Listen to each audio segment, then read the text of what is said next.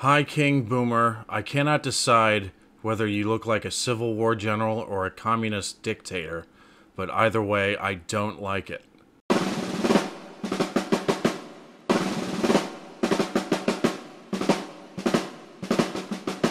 Hello, Booms. How we doing today? Hope you're doing well. Got a reaction. This is something that I've never seen before. This is this is sent by Tricky D77. Hello, Tricky. And he says, "These two will tell you everything about British history you will need to know." Really? So, is this serious or is this a comedy sketch? I don't know.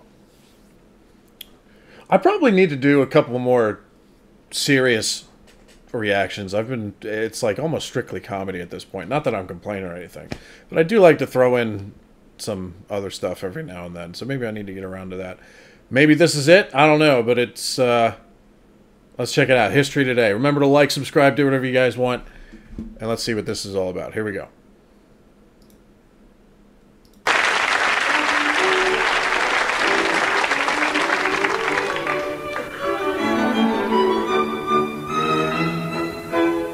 Good evening and welcome to History Today. No, this is definitely a comedy sketch. Look at this. It's got a wig on and a fake mustache, and he's making a face. It's definitely a comedy sketch. Here we go. I can tell you that no one is more surprised than myself and Professor F.J. Lewis when the news came through that we were to be granted another series of discussion programs on the television. However, I can assure all those who may have been uncertain about the decision that tonight's discussion on the perennial topic of romanticism and industrialization will be a most rigorous investigation into this always provoking issue. Professor F.J. Lewis, I wonder if we may begin by talking about the ways in which this period saw the beginning of social disintegration. Indeed. The collapse of the extended family meant that for literally thousands of women, the only way of supporting themselves was to turn to prostitution. There are several accounts of this, uh, but perhaps the most harrowing is My Life as a Prostitute, a first person account by a woman who, being very ugly and suffering from scrofula, could not charge very much for her services, and so was compelled, alas, to perform all sorts of degrading sexual acts with over 100,000 men. Well, this sounds like a very important source text, this uh, My Life as a Prostitute. I wonder, is there a modern edition of the publication? Uh, yes, it's um, Weidenfeld and Nicolson, uh, second edition, price £27 and 99 pence. That's um, My Life as a Prostitute by your mum.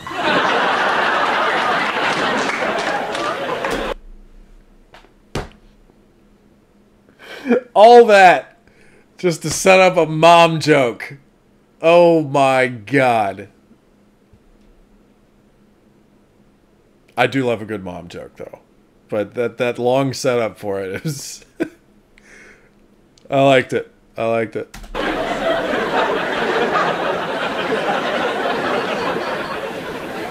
I see. I see. See a, a pond or a lake or a very, very large puddle?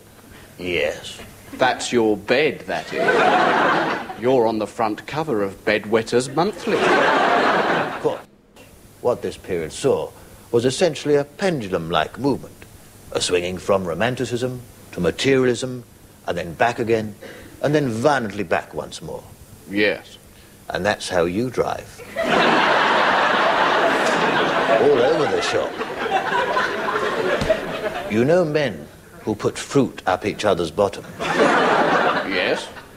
Oh, you do? Oh, you do? yeah. What is this? Just two guys dressed up as old men just roasting each other?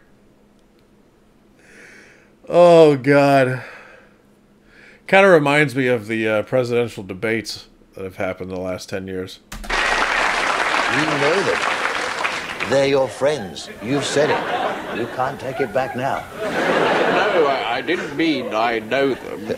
Well, that's what you said. You shouldn't have said it. See, a pair of 3D glasses which you get free with TV Quick. And they've got like an orangey bit and a green plastic bit on each eye, and, and they don't fit properly. Has the green piece come off slightly and it's sort of hanging off? Yes, and there's some writing on the side where someone has tested a biro on it. Yes. That's your Ray-Bans, that is. That's your cool shades. Oh, hi, girls. Tom Cruise here. But, Professor Lewis, if we could return to the subject in hand. I was reading an interesting piece the other day. No, you weren't. Because you can't read. And you can't afford a book. Uh, well, actually, it was a piece by yourself. A rather fine piece in the Historical Inquirer. I was very impressed by it. Oh. Were you? Thank you. I was particularly moved by a section on page 35 about the advancement of Scottish radicalism. I'd like to read from it, if I may. I'd be honored.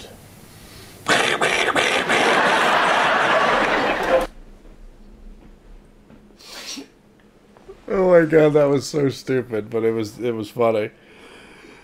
I was not ready for that.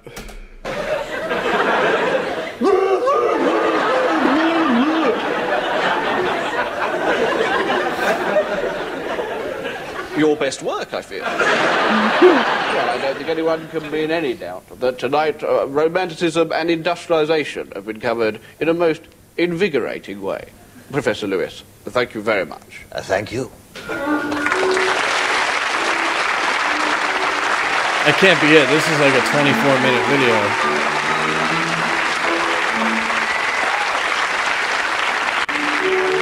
Uh, so it's a compilation of what's called History Today. What does it say below? compilation of sketches from the uh, 1993 series Newman and Baddiel.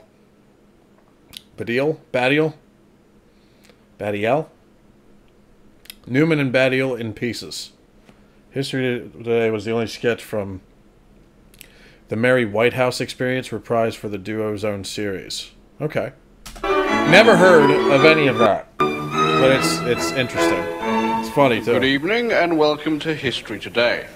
I would like to take this moment to thank viewers who have stayed with us over the course of these discussions. We are under increasing pressure from the controllers who feel that we have been in some way disappointing those viewers with a yen for historical inquiry. I can only apologise and pledge that tonight both myself and Professor F.J. Lewis, Emeritus Professor of History at All Souls College, Oxford, are determined, as never before, to undertake a full and rigorous exposition of tonight's most exciting subject, the Domesday Book. the beginning of radicalism or the end of liberty. Professor Lewis. See that Michael Bolton? Oh dear. I am aware of his work. That's your haircut, that.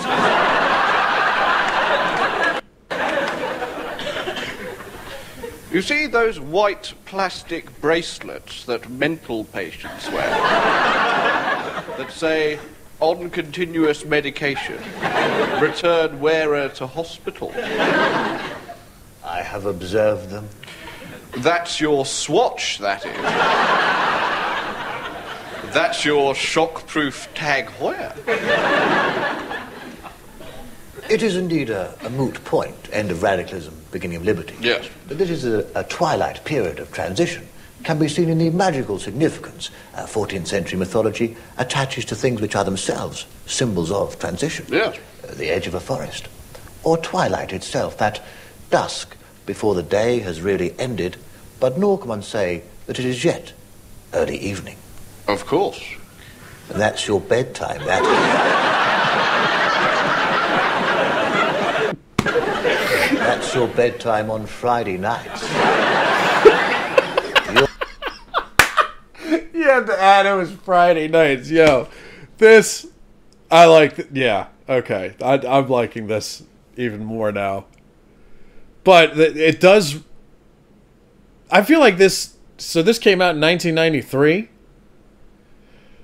Who would have known that this would have predicted how the uh, United States presidential debates went 30 years later? It's just, it reminds me a lot of that. just uh, more uh, more mellow. You're on the front cover of Quarter Past Five Monthly. Congratulations. The importance of the Domesday Book as a milestone in history can be seen from the fact that it is one of only a handful of books to be kept in cryogenic suspension at the British Museum. The book is held in a sealed chamber at a set temperature of minus 273 degrees Celsius, a temperature which in modern physics is known as absolute zero. Indeed. And that's the number of pubic hairs. you thought you had one the other day, but then you weed through it.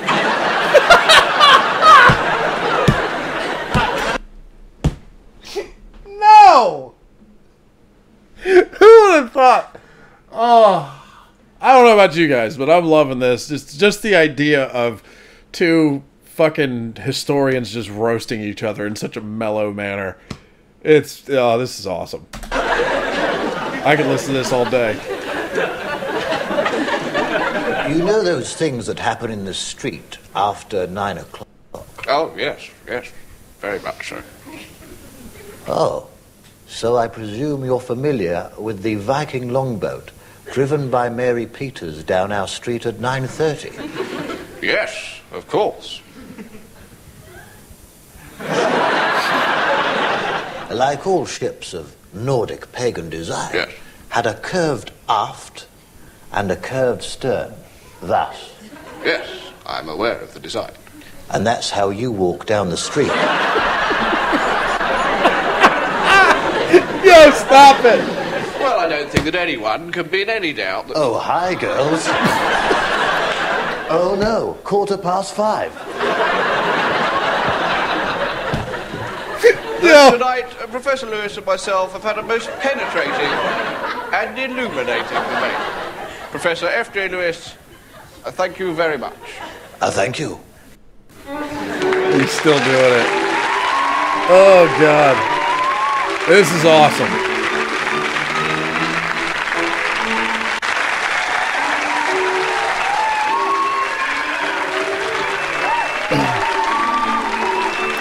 There you go. Give us the next roast.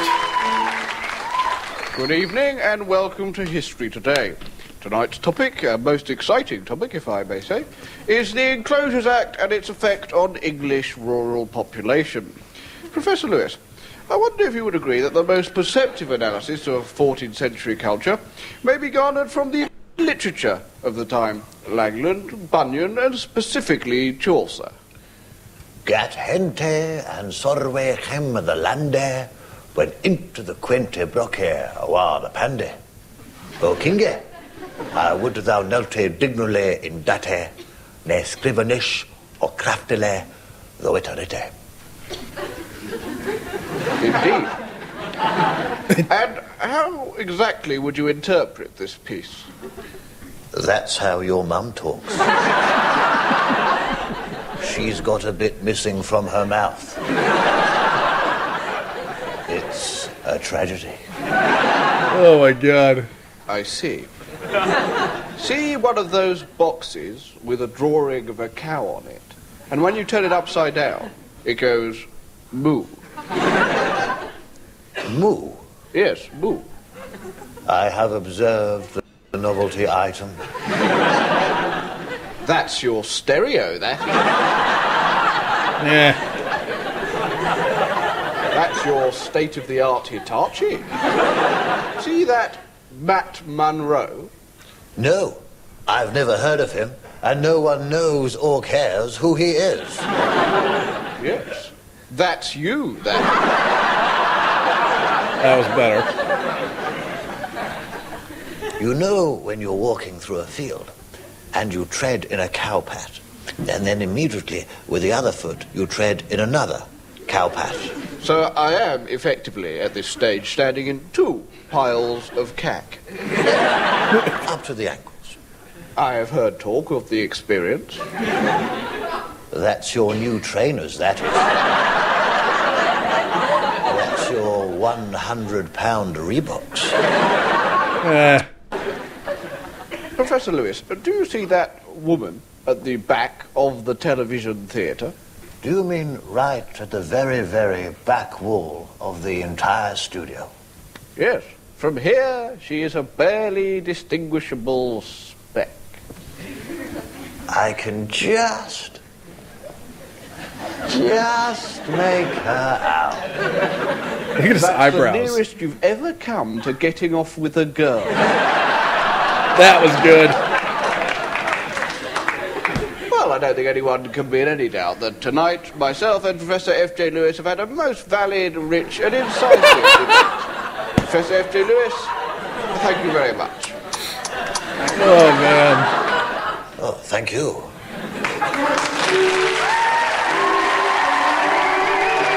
A history roast off. That's what this is. I find myself like judging their uh, insults now. Because we're only halfway through this.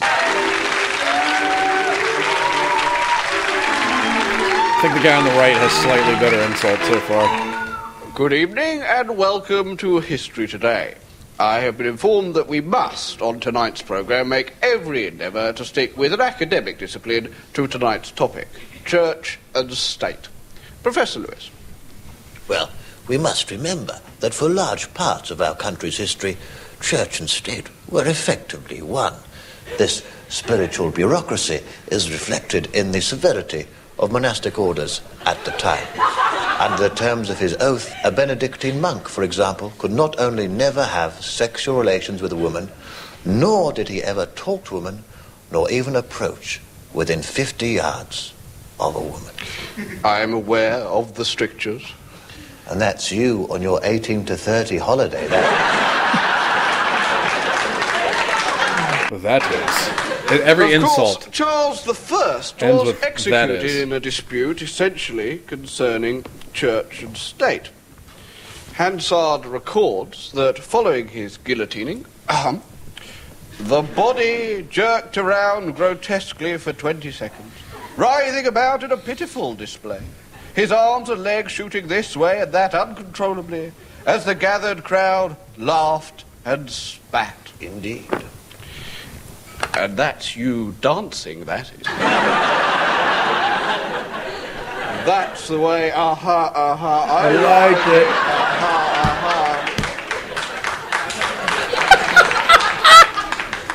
aha. See an old chipped saucer lying against a brick wall in an alleyway.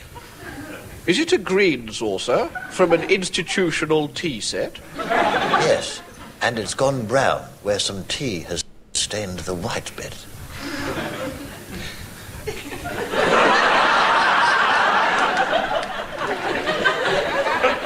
I have seen such an item of discarded bric-a-brac.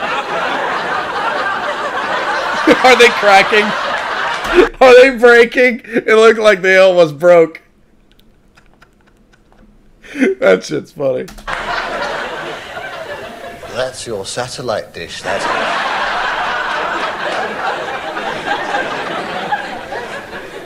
The monarch who could be said to have truly united church and state was Elizabeth I. Her power was iconically linked with her refusal to marry, so that it became part of her mythology that she remained inviolate, known to all as the Virgin Queen. yes. That's you, that is. That's your most manly nickname. Essentially, throughout our history, there has been a constant power shift, moving from church to state, from state to church, thus, and then back again once more. I am aware of the continual fluctuation. And that's what everyone does when they stand downwind from your mouth. oh, cool, blimey, cool the punch. Oh my god, dude, this guy is really getting on his mom. She's a prostitute. She has really smelly farts. What was the other one? I can't remember the last one. Oh. In the present day, woman. the balance seems to have shifted to state. But today's secular society is perhaps conditioned by an awareness of our temporal instability. Why, even this very land on which the battle between church and state was for so many years fought is continually being eroded by the sea. Our cliffs are moving back at a rate of four meters per year, I am aware of the topographical crisis. and that's how fast you run. That's you on Sports Day. well, I don't think anyone can be in any doubt that tonight myself and Professor Lewis have had a most incisive debate. Professor Lewis, thank you very much. Thank you. They almost broke. That was funny to watch. They almost lost it and started cracking up.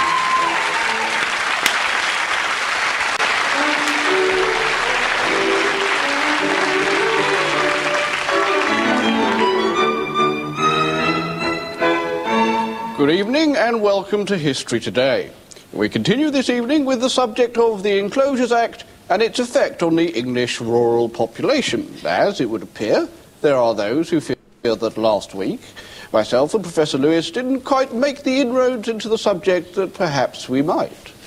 So I wonder, Professor Lewis, whether you would agree with the Marxists that the Enclosures Act forms the point at which government first effectively becomes state. See that? I have observed the image. That's you in your latest clothes, that is. That's you trying your best to be really with it. That's what you wear when you're out on the pull. See that?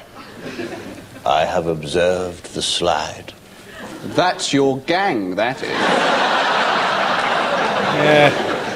That's you with your hard mates.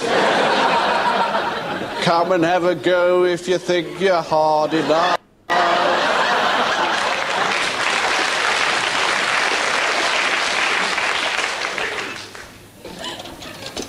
See that? Yes. That's the man who works inside your pants.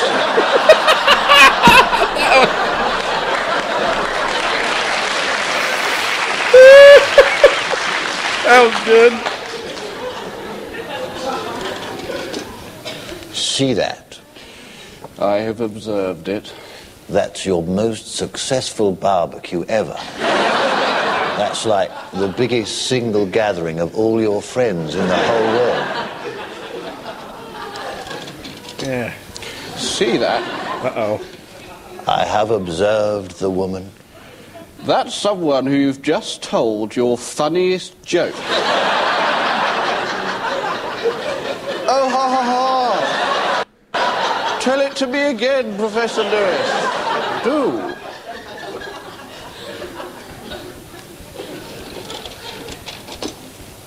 See that? Yes. That's your prostate gland. I haven't got a prostate gland. yes, that's why it's in that warehouse.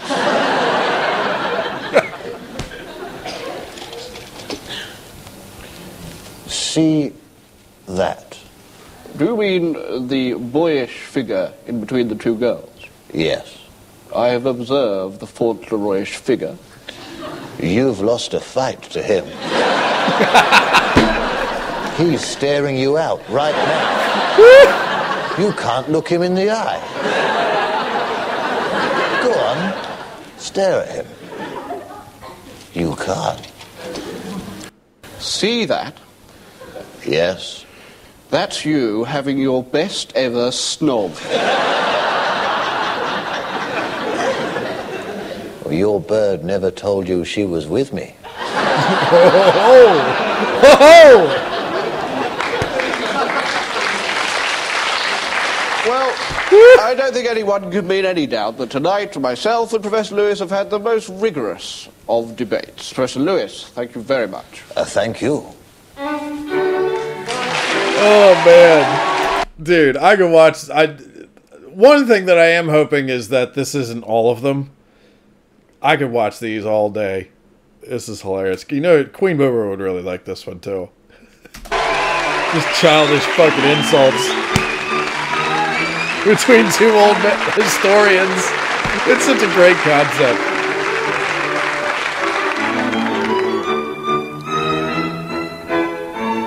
Good evening and welcome to History Today.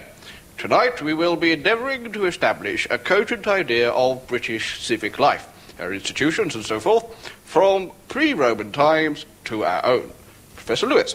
I wonder if you would agree with radical Celtic historians that the notion of a centralised bureaucracy is essentially alien to the British character.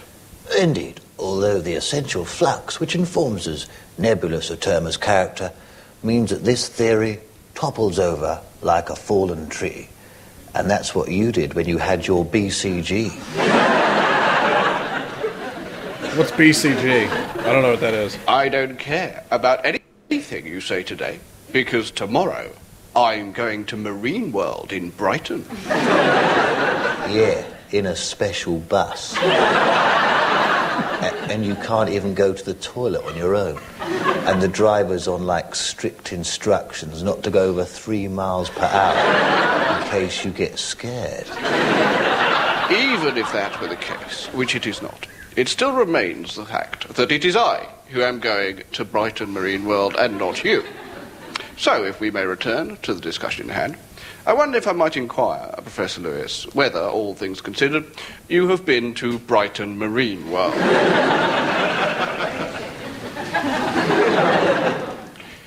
British civic development changes course radically with the Great Fire of London, after which there was the opportunity to restructure and recodify the way records were kept. So that as tiny a spark in as lowly a place as Pudding Bowl Lane, That's where you have your haircut. it is not until the 19th century. And you eat your dinner in snot and bogey pie, haven't you? you need special medicine to live. I'm the one going to Brighton. Oh God! Oh, that was that was that one hit hard. Eat your dinner in snot and bogey pie, haven't you? You need special medicine to live. And I'm the one going to Brighton Marine World. It is, of course, possible to achieve an exact dating for such artifacts. Uh, this coin, for example, is quite clearly inscribed with the letters CLMXII, I have observed the obscription. which is your best ever spelling of climax.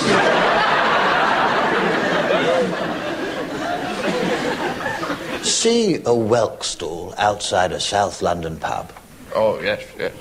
and it's got to be about five o'clock on a hot Saturday afternoon. And all that's left on the display tray are a few sorry looking jelly eels, one whelk, and a couple of dried up, shriveled prawns. I have observed such a roadside establishment. That's Brighton Marine World.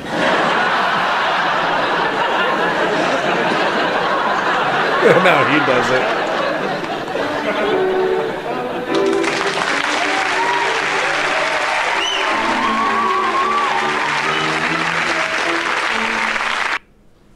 Man, that was good. I really like that. Thank you, Tricky, for sending that in, man.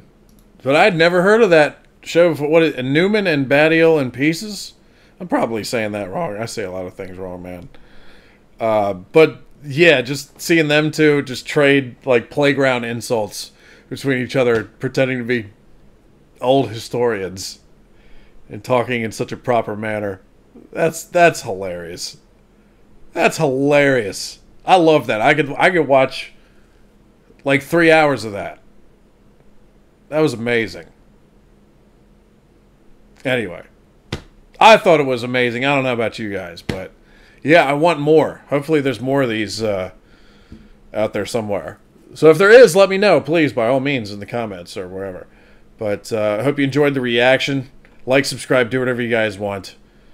And I'll see you again next time. Peace out.